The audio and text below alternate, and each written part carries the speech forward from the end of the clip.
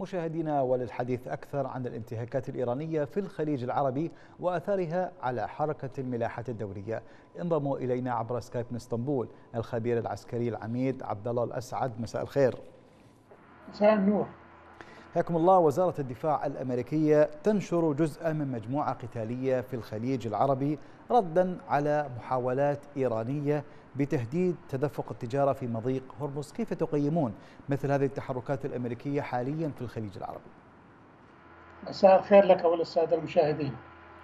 آه يعني في الواقع نحن نتكلم بواقعية وبعيدا عن آه الانحياز لأي طرف. آه في الواقع القوات الأمريكية يعني هي صاحبة اليد الطولى في كل المنطقة وفي العالم لديها قواعد أمريكية ولديها قوة ضاربة في كل هذه المناطق. الآن هناك يعني الآن في المنطقة نجد أن جليد احاديث القطب الموجودة الآن في العالم أمريكا يعني بدأت تقريبا يتكسر جليدها.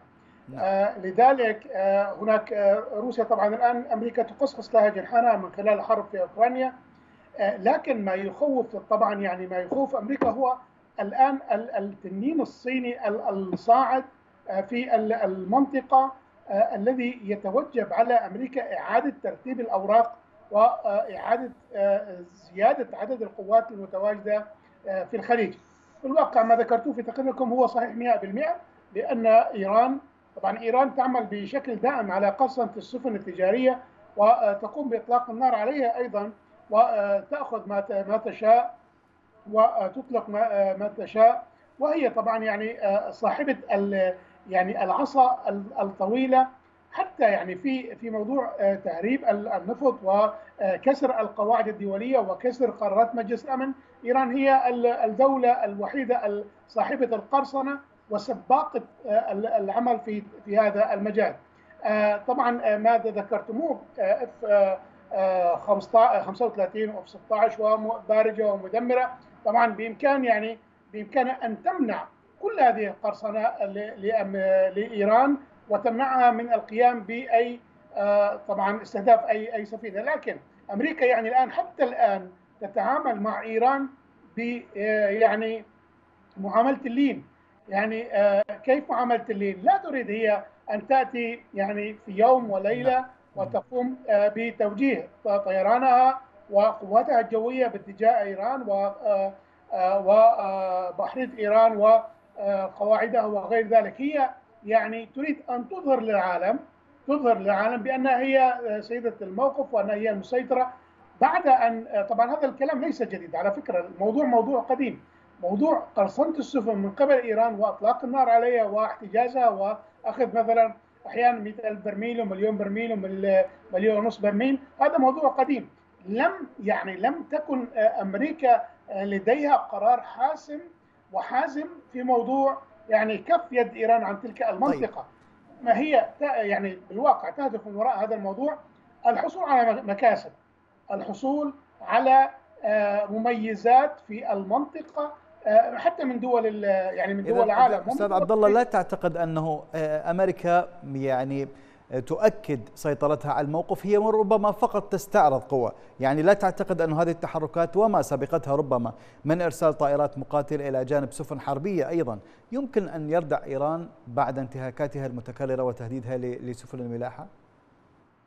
نعم بالتأكيد يعني حتى حتى تبقى بعد بعد أن أن جاءت أمريكا ببعض القطع أحيانا وسحبت بعض القطع البحرية والبوارج والسفن وحتى الطيران وأحيانا يعني غير عاجزه أمريكا عن إرسال مثلا طائرات اوكس وطائرات مختلفة استطلاعية ومقاتله وقاذفة والى غير ذلك من أجل سطع المضيق بشكل كامل ومنع طبعا يعني منع إيران من من قرصنة السفن سفن المنطقة التي لها الحق في يعني في استخدام هذه المضائق ونحن نعرف بأن يعني موضوع يعني الميل البحري والأعماق والمياه الإقليمية. طبعا إذا ما عدنا إلى القانون البحري الدولي نجد بأن إيران حتى ليس فقط في المياه الإقليمية وحتى من خلال سيطرتها على مضيق هرمز هي الآن تتعدى أكثر يعني مما يسمح لها. القانون الدولي والاتفاقيات بين الدول الاتفاقيات بين الدول يعني كل المضائق في العالم هناك يعني يحكمها يحكمها قانون وكل الدول ملتزمة بهذا القانون سوى إيران. لماذا إيران؟ لأنها ترى كما اسلفت في بداية حديثي هي سياسة اللين. هذه سياسة اللين يعني غير مطلوبة أو أو غير ملائمة لأمريكا. يعني أمريكا هي الدولة العظمى التي تستطيع أن تأتي باساطيل هي في أي موقف يعني مثلا في حرب الخليج جاءت بالاساطيل وجاءت بالقوى الجوية وجاءت بالصواريخ حتى تستطيع من المحيط الأطلسي والمحيط الهادي أن تهدد أن تهدد إيران وتستطيع أن تكف يدها. لكن هي عبارة عن مناورة. هذه المناورة براغماتية براغماتية تريد منها تريد منها أمريكا أن تضع يعني هذا الموضوع على طاولة. وهذه الطاولة لا يكون أحد عليها سوى أمريكا ويوزع المكاسب على الدول والحمايات. طيب.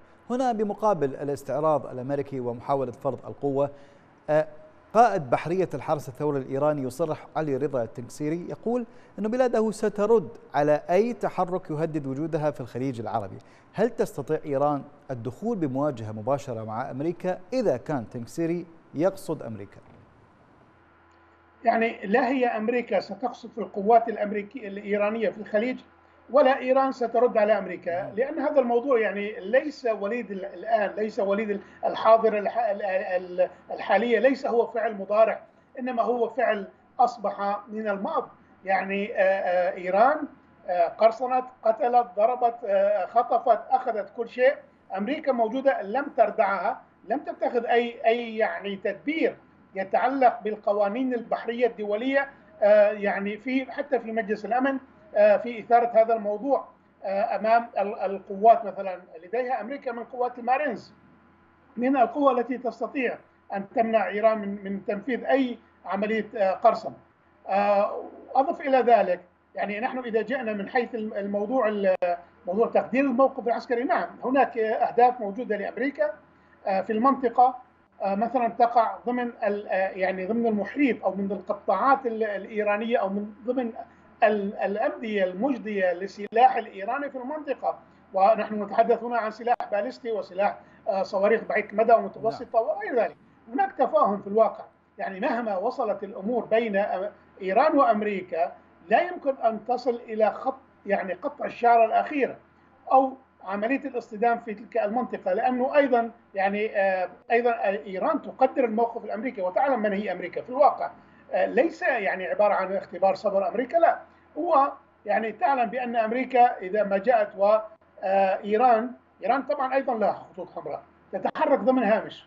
وهذا الهامش معطى لها من ربما من دول يعني نعم أستاذ عبد الله هذه الصورة التي تذكرها اليوم أو الآن يعني إيران وأمريكا ليسوا بتماس مباشر وليس هناك صدام مباشر وحقيقي، هل المراد من كل هذه الحركات والاستراتيجيات هو تخويف دول الخليج أو استخدام إيران شرط الخليج مرة أخرى؟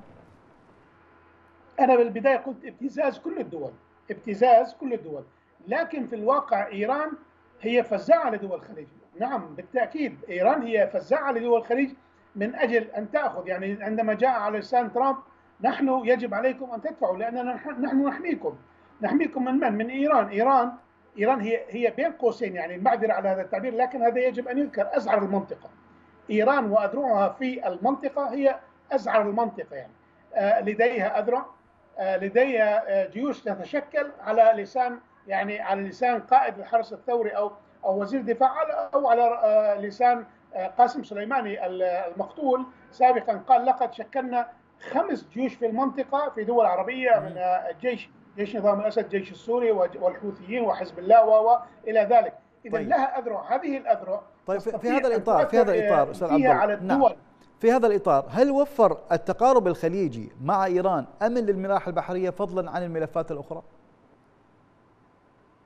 لا بالتأكيد. لا لم يؤثر. طبعا هذا وقت وقتي ربما أنا أوافقك يعني بشيء جزئي. وقتي لكن على المدى البعيد الآن بعد أن تم التقارب بين يعني والتفاهم بين السعودية وإيران وأيضا أدى ذلك إلى التفاهم بين السعودية وبين نظام الأسد. الآن الآن إيران آه يعني خلقت موضوع آه مثلا حقل الدرة. آه يعني هي بشكل دائم إيران ليست من المنطقة. إيران لن تنسجم مع مع دول المنطقة. لأن إيران لديها لديها استراتيجية تختلف عن استراتيجيه كل منطقة. يعني من ترى من ترى في الدول العربية هي بعد جيوبوليتيكي لها وبعد جيو استراتيجي لها لا يمكن أن تتحد مع دول المنطقة هي ربما في يعني بعض بعض الأوقات ربما ترى بأن يجب مثلا أن تتقرب أن تكون مثلا طبعا نتيجة مثلا ربما مثلا يعني ضائقتها الداخلية. أو مثلا أوضاعها الداخلية أو أو غير ذلك يعني نعم. من الأمور التي كان يتشكل لها ضائقة ربما تتفق مع الدول. لكن في الواقع هي يعني تسلم بيد وتطعن بيد أخرى يعني. يعني ما يجري مثلا ما يجري مثلا مع العرب الآن بالكامل. يعني عندما مثلا من دمر مثلا العراق من دمر سوريا من دمر اليمن من دمر لبنان. نعم. هي إيران. وستقوم وحتى الآن لديها أهداف بعيدة تدمير الخليج طبعا الآن هناك سلاح آخر هو سلاح المخدرات سلاح المخدرات أصبح هذا السلاح طبعا هناك إسكوبار آه، بشار اسد الذي آه، طبعا ينوب آه، إسكوبار الذي ينوب عن إيران في عملها في تدمير المنطقة نعم. بالمخدرات وهذا يعتبر سلاح أيضا يعني له أهمية كأسلحة كالأسلحة الفتاكة المدمرة. من إسطنبول الخبير العسكري العميد عبد الله الأسعد شكرا جزيلا لوجودكم معنا.